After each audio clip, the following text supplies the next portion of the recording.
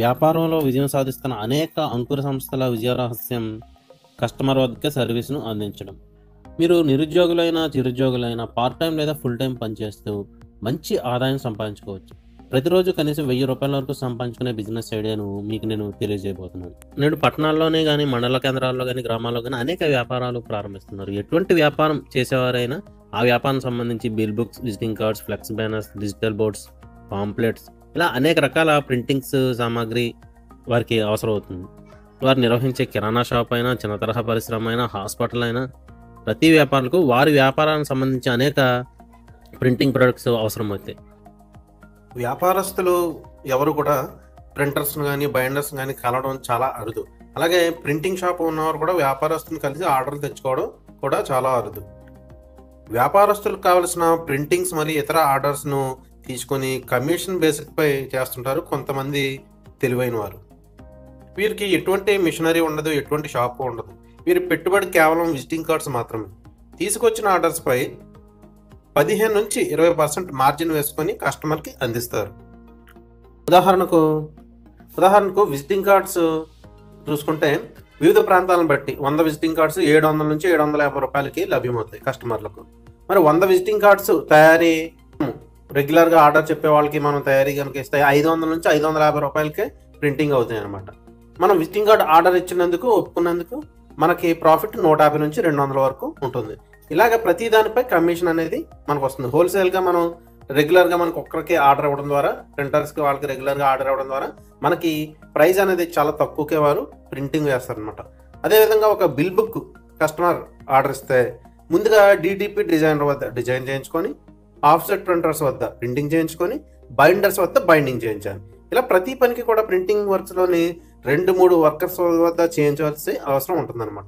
ఇలా ఇచ్చినప్పుడే కస్టమర్ ఇచ్చిన ఆర్డర్ పూర్తవుతుంది. ఇలా ప్రతి ఐటెంకి సంబంధించి పదిహేను నుంచి ఇరవై పర్సెంట్ వరకు మనకి మార్జిన్ అనేది లభిస్తుంది.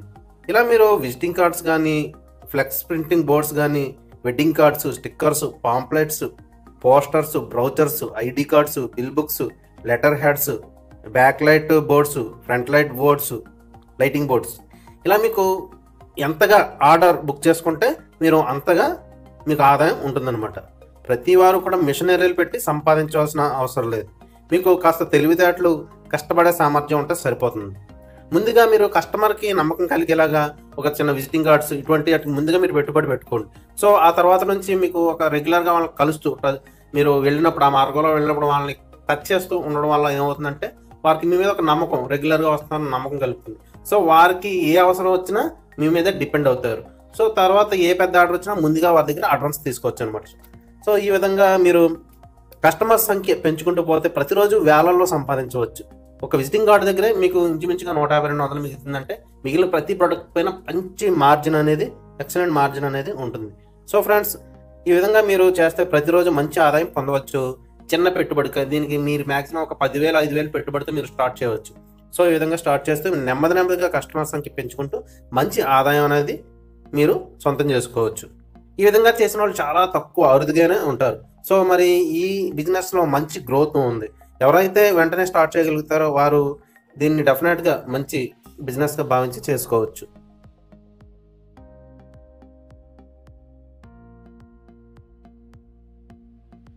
ఫైనాన్షియల్గా ఈ రెండైన మార్చి నెలలోని మనకి మంచి వ్యాపార అవకాశాలు ఉంటాయి.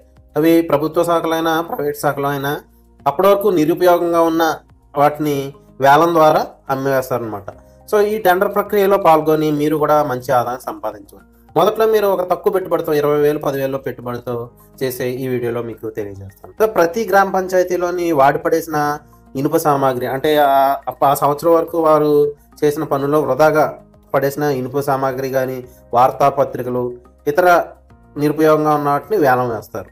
సో నామమాత్రపు రుసుము చెల్లించి టెండర్ ప్రక్రియలో మనం పాల్గొనవచ్చు అనమాట ఆయా పంచాయతీలో ఉన్న సామాగ్రిని ఎన్ని కేజీలు వస్తుందో మీరు ఒక అవగాహన వచ్చాక మీరు అక్కడ జరిగే ఆక్షన్లోని పాల్గొని మీకు ఎంతవరకు అయితే ప్రాఫిట్ ఉందో అంతవరకు మీరు ఆక్షన్లో వెళ్ళొచ్చు. సో మీరు ఆ ఆక్షన్లో మీరు సొంతం చేసుకున్నట్టయితే తిరిగి దాన్ని మంచి లాభానికి అమ్ముకొని మంచి ఆదాయం పొందవచ్చు అనమాట వ్యాపారంపై అవగాహన వచ్చే వరకు మీరు మొదట్లో చిన్న చిన్న పంచాయతీలు టెండర్లో పాల్గొనండి. తర్వాత మెల్లమెల్లగా మేజర్ పంచాయతీలు మున్సిపాలిటీలు పట్టణాల్లోని మీరు జరిగే ఆక్షన్లో పాల్గొని అక్కడ ఉన్న సామాగ్రిని మీరు తీసుకొని హోల్సేల్గా వాటిని విక్రయిస్తే మీకు మంచి ఆదాయం అనేది ఉంటుంది. సో ఇదే కాలంలో మనకి ఆశీలు అదేనండి తోపుడు బండి వాళ్ళు సైకిల్ పైన వ్యాపారాలు నిర్వహించే వారి దగ్గర ఆశీలు వసూలు చేస్తుంటారు. మీరు చూసే ఉంటారు. ఇవి కూడా ఈ నెలలోనే టెండర్ పిలుస్తారు. సో మీరు ఇలాగ మండల కేంద్రాల్లోని మీరు గ్రామాల్లో అయితే మరీ తక్కువగా ఉంటుంది. గ్రామాల్లో మ్యాక్సిమం ఉండకపోవచ్చు కూడా చిన్న చిన్న గ్రామాల్లోని మండల కేంద్రాల్లోని కొద్దిగా పెద్ద మేజర్ గ్రామాల్లోని ఈ ఆశీల ప్రక్రియ. సో మరి మీరు వీటిని మీరు ఈ టెండర్లు ఎప్పుడు పిలుస్తారో చూసి ఆ టెండర్లు వేసుకొని ఎంతవరకు లాభం ఉంటుందనేది మీరు ఒక అవగాహన వచ్చాక మీరు ఇందులో కూడా పెట్టుబడి పెడితే మంచి ఆదాయం అనేది. సో ప్రతిదీ కూడా మీరు ఒకసారి కనుక ఇటువంటి ఆక్షన్లో పాల్గొంటే మరిన్ని ఇంకా ఏమేమి లాభదాయకంగా ఉంటాయి ఎటువంటి వాటిలో ఇన్వెస్ట్ చేయొచ్చు? పంచాయతీ మున్సిపాలిటీల్లోని అనేది మీకు ఒక అవగాహన అనేది వస్తుంది. సో ముందుగా మీరు చిన్న చిన్న మార్గాలను అన్వేషిస్తూ తక్కువ తక్కువ పెట్టుబడితో ఇలా గ్రామ పంచాయతీల్లో జరిగే ఆక్షల్లోని మీరు పాల్గొంటే మీరు ముందు ముందు మంచి మంచి పెద్ద పెద్ద ఆక్షల్లో పాల్గొని అధిక ఆదాయం పొందే అవకాశం అనేది ఉంటుందన్నమాట. మరి ఇంకెందుకు ఆలస్యం? పంచాయతీలు కలిసి ఏ ఏ టెండర్ నోటీసులు పట్టాయో చూడండి. ఆ టెండర్ ప్రక్రియలో మీరు కూడా పాల్గొనండి.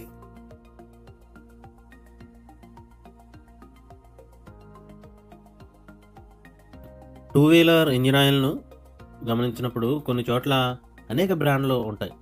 చిన్న పట్టణాలు గ్రామీణ ప్రాంతాలు మండల కేంద్రాలలో ఉన్న ఆటోమొబైల్ షాప్లో కానీ మెకానిక్ షాపుల వద్ద ఎక్కువగా మీరు గమనిస్తుంటారు. కొత్త బ్రాండ్స్ ఇంజిన్ ఆయిల్స్ అనేకం లభ్యం అవుతాయి ఈ టూ వీలర్ ఇంజిన్ ఆయిల్ బిజినెస్ను తక్కువ పెట్టుబడితో ప్రారంభించి మంచి ఆదాయం సంపాదించవచ్చు. మరి ఈ వ్యాపారానికి సంబంధించి మనము ఎంత పెట్టుబడి పెట్టాలి? మార్కెటింగ్ ఏ విధంగా చేసుకోవాలి? ప్రాఫిట్ ఏ విధంగా ఉంటుంది అనే విధి విధానాలు ఒకసారి చూద్దాం. ముందుగా మీరు ఏ పేరునైతే సూచించుకుంటారో మీ బ్రాండ్ నేమ్ను రిజిస్టర్ చేయించుకోండి. మార్కెట్లోని వివిధ రకాల ఇంజిన్ ఆయిల్ బల్క్లో పేపర్ లెక్కన కొంటే మనకి ఒక్కో లీటరు తొంభై ఐదు రూపాయలకే లభిస్తుంది.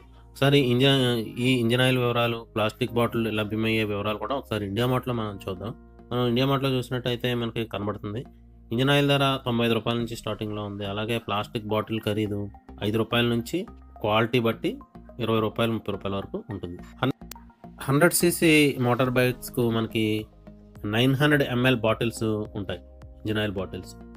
అలాగే మనకి hundred CC above one fifty CC engine two వీలర్స్కి వచ్చేసి మనకి వన్ లీటర్ ఇంజిన్ ఆయిల్ ఉంటుంది అనమాట సో బాటిల్ ఖరీదు మనకి యావరేజ్గా ఏడు రూపాయల నుంచి ఉంటుంది. మనం ఒకసారి నైన్ హండ్రెడ్ ఎంఎల్ ఇంజిన్ ఆయిల్కి ఎంత ఖరీదు అవుతుంది ఏంటనేది ఒకసారి చూద్దాం.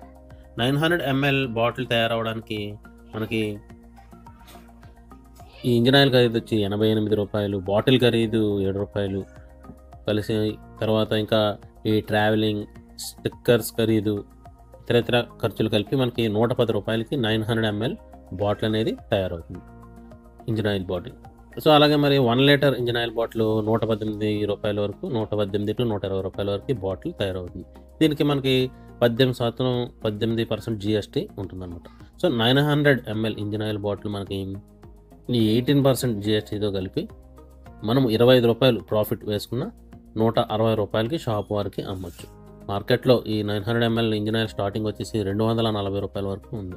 షాప్ వారికి మీరు యాభై రూపాయలు మార్జిన్ ఇచ్చిన కమిషన్ రెండు వందల ఈ కస్టమర్కు రెండు వందల పది రూపాయలకే ఇంజిన్ ఆయిల్ అనేది లభ్యమవుతుంది. ప్రారంభంలో మీరు రోజుకి యాభై బాటిల్స్ అమ్మిన ప్రతిరోజు పన్నెండు వందల యాభై రూపాయలు మీకు లాభం అనేది ఉంటుంది.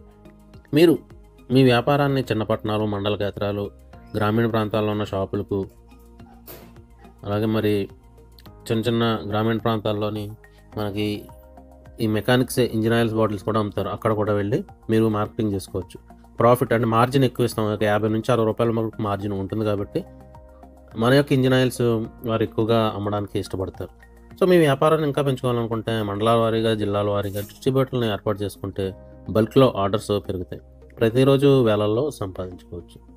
ఈ వ్యాపారాన్ని మీరు ఒక వంద లీటర్ ఇంజిన్ ఆయిల్ మరియు ఒక ఎంటీ ఒక రెండు వందల నుంచి మూడు వందల ఎంటీ బాటిల్స్ మరియు మాన్యువల్ సీల్ మిషన్ సో మీరు ఒక ముప్పై వేల రూపాయలు పెట్టుబడితో ఈ వ్యాపారాన్ని మీరు ప్రారంభించవచ్చు. మీకు ఈ యొక్క వివరాలు మీరు కావాలంటే ఇండియా మార్ట్ యాప్లోని కూడా మీరు ఒకసారి చూడవచ్చు. ఆ ప్రైజ్ లిస్ట్ అడ్రస్లు కూడా మీకు దొరుకుతాయి. సో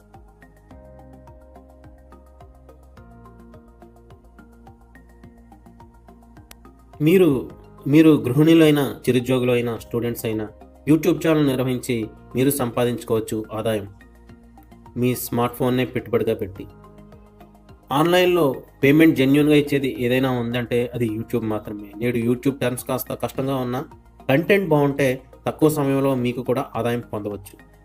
మరి కంటెంట్ ఎలా పొందాలి? ఏ కంటెంట్ అయితే మీరు యూట్యూబ్లో సక్సెస్ అవుతారు?